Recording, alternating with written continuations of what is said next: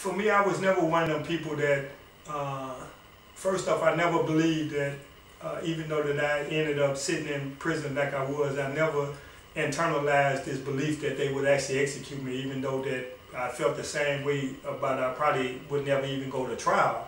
But uh, uh I felt even more strongly that uh, that the people would never execute me for a crime that they committed. So when I went to death row, uh, certainly I was angry in the in the beginning.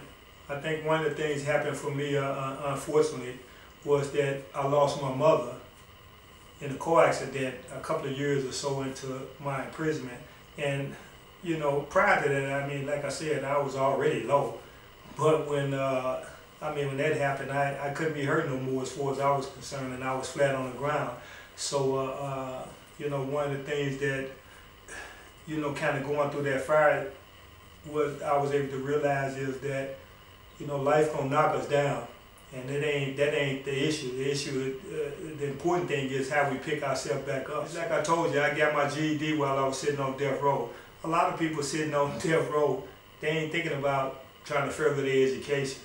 But uh, for me, I knew that what was important for me is that I, uh, you know, keep getting up every day trying to put my best foot forward because I always say that as long as we do that, the rest will work itself out. And as long as we're alive, we, uh, if we able to put our feet on the floor in the morning, everything else can be worked out. Even though that I was sitting where I was, they physically had me, but they never, mentally, I never, I never surrendered uh, uh, mentally. Uh, I think for me, like I said, uh, even though that uh, I mean, I lived around despair and people, I mean, I don't know if you ever seen people that, you know, when you're looking at them, you know they don't have no hope. Uh, you know, then that's uh, that's a sad existence. It really is. I mean, if you don't have hope, you don't have nothing. You could put me in a cell, uh, or you could. I'm sitting in my beautiful home, like you're saying now.